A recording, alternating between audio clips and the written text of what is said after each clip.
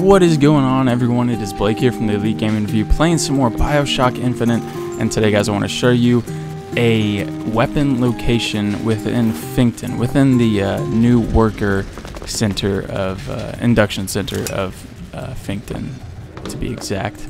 But um, yeah, so this is the part after you kill a bunch of guys while um, uh, pursuing Elizabeth. You um, you're going to be over there somewhere and you have to kill a guy, okay? When the guy you kill is fully armored and he drops a volley gun, okay? Now the weapon I'm about to show you guys is the volley gun. But if you guys did not pick it up over there, or even if you did pick it up over there, this is still going to benefit you because there's a little something else.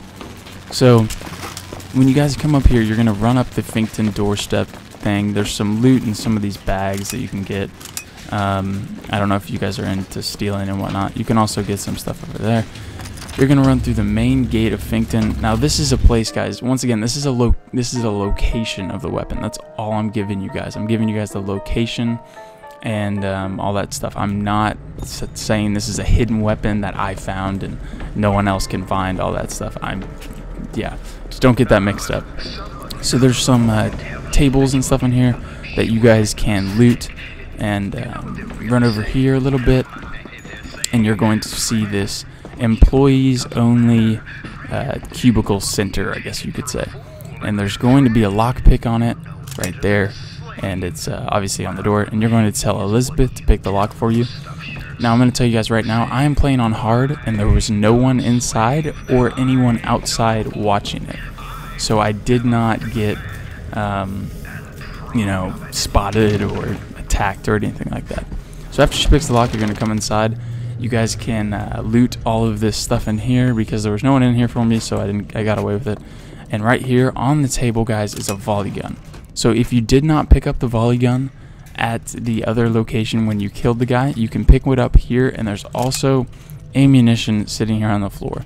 I know I picked up a few, I think, but um, in doing so, um, there's still two left right here, so I, there may be three, I think.